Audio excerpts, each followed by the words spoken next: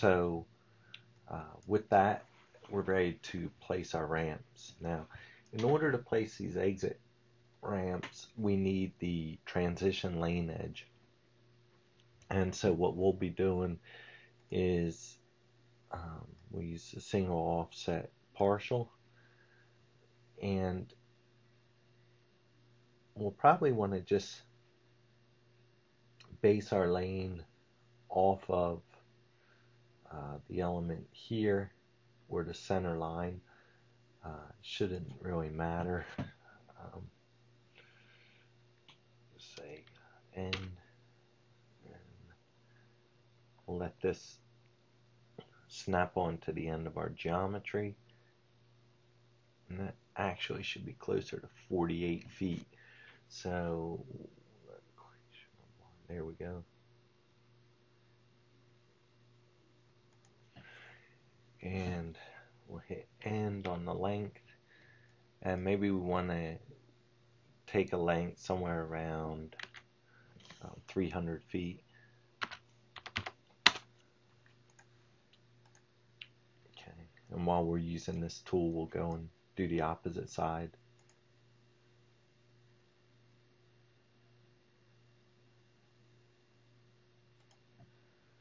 Yeah 300 feet and then we'll use a taper. We'll use a 10 to 1 ratio. So we'll um,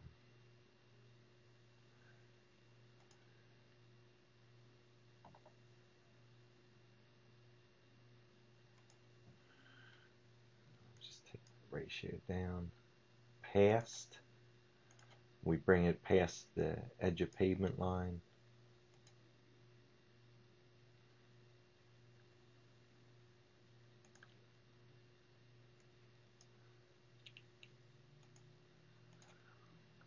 And then we'll complex it together.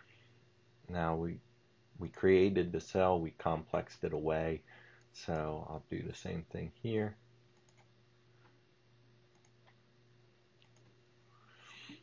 And now we're ready to place our ramps. So because I've developed the cell with the actual ramp, uh, I'm going to take control of the corridor, the ramp corridor as well. So we'll come in to um, civil cells place.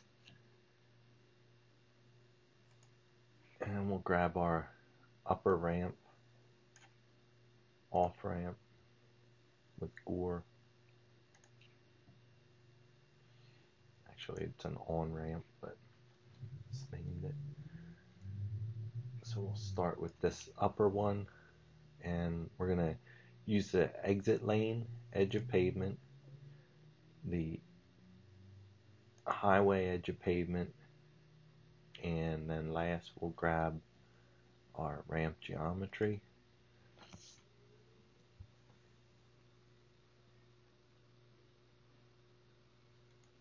And after a few seconds it shadows and I know the placement of those construction lines is correct. So we'll just reset and accept it. And this will create my ramp with the gore area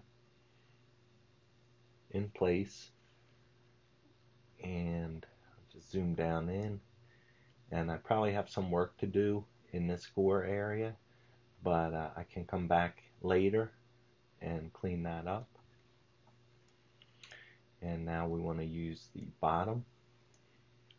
So for the last ramp um, what we want to take note of is it is critical when constructing your geometry that geometry be tangential to avoid overlaps and so forth. So in our cell, the geometry was put together tangential.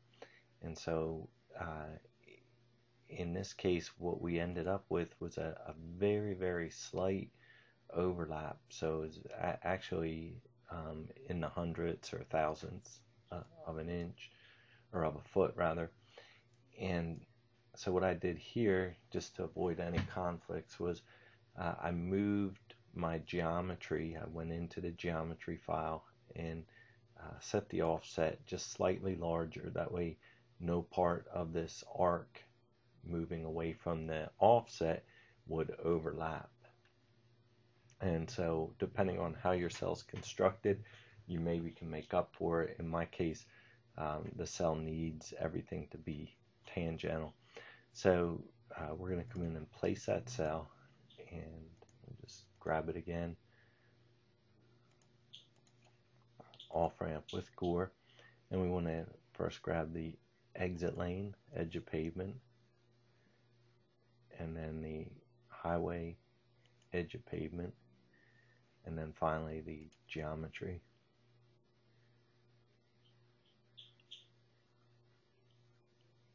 And after a few seconds it begins to shadow but uh, incorrectly. So you see we have manipulators to reverse the direction uh, of our um, ramp elements and we can just move those around until we get um, the elements looking or set in place the way we need them. And um, if for some reason it fails uh, we want to go back and this transition's a little tricky. It doesn't always show up. Uh, you don't see a change, but if it were to fail, just go back and reverse it. So we'll just uh, accept the placement.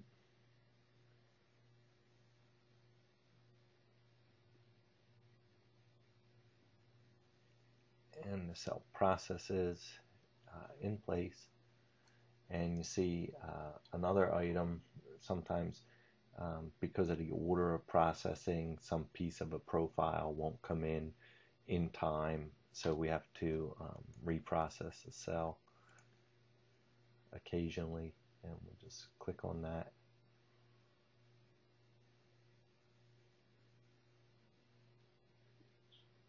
And that jumps back up. So now our, our cell is in place, and we're ready to uh, move on in our design.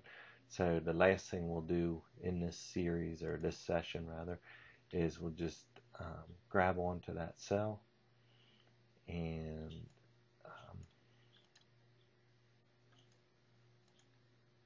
by the end manipulator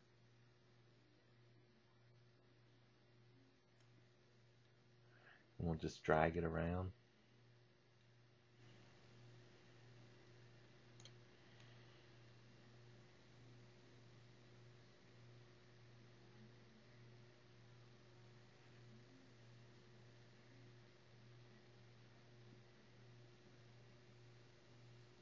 and we'll watch it update.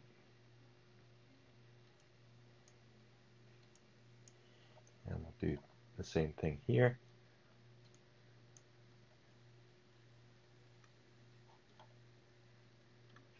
We'll zoom out.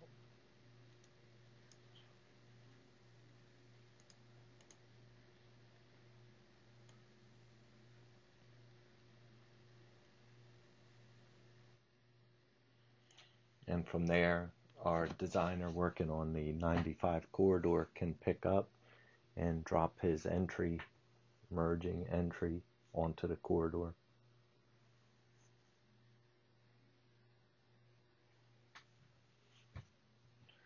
Okay so uh, what we'll look at in the next section is some cleanup and clipping. So we will uh, clean up our cells a bit and we'll clip out the corridor and that should take us all of about 10 minutes. Thank you.